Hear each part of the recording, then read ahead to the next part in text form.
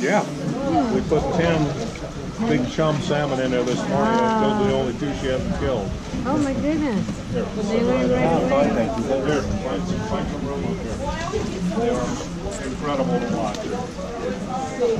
Oh, don't go away. She'll be there. say. Oh, excuse me. Yes, it was. Hello everyone and welcome to Fortress of the Bear. My name is Cody and I'm going to go ahead and tell you a little bit about our facility today. So Fortress of the Bear is a non-profit organization, meaning we do not receive any funding from the government, the city, or the state. We are funded solely by admissions, gift shop sales, and donations. So thank you so much for visiting us today. Now what we do here at Fortress of the Bear is we take in orphaned bear cubs and we give them a second chance at life here in captivity. Generally, what happens in Alaska when a bear cub is orphaned is someone is actually sent out to shoot and kill that cub. It is seen as the most humane, cost-effective way to hear about the adult brown bears that we have here. So all of our adult brown bears are over on my left-hand side.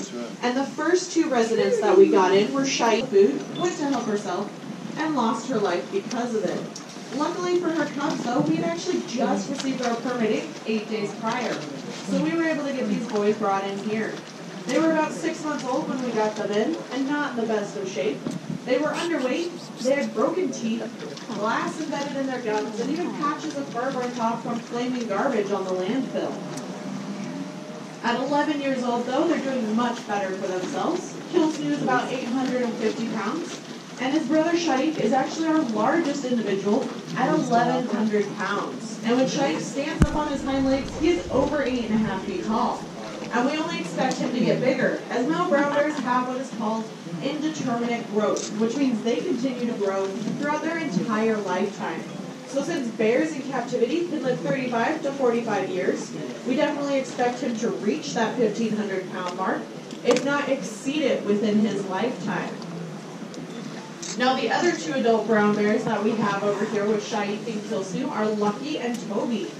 And so Toby's the one who's right in front of the den entrance there, walking to the right on the far side of the wall. And Lucky's the one who's on the far side of the pool, kind of walking out of it at the moment. Now these two actually live right here on Baranof Island, where their mom was raising them in the woods nearby. She was enticed closer to town by the smell of meat and fish scraps and people's trash that they were then leaving out overnight irresponsibly.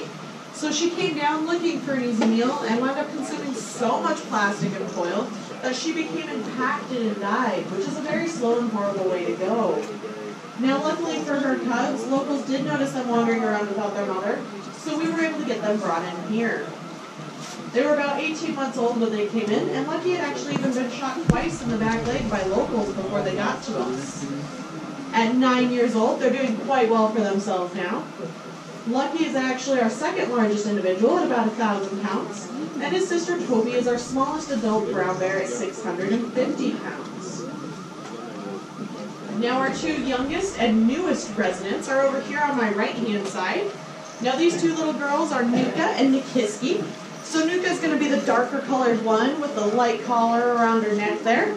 And then her sister Nikiski is the lighter colored one playing in the stream.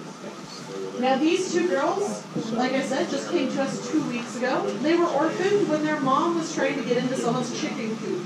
So in defense of their chickens, they wound up shooting and killing them.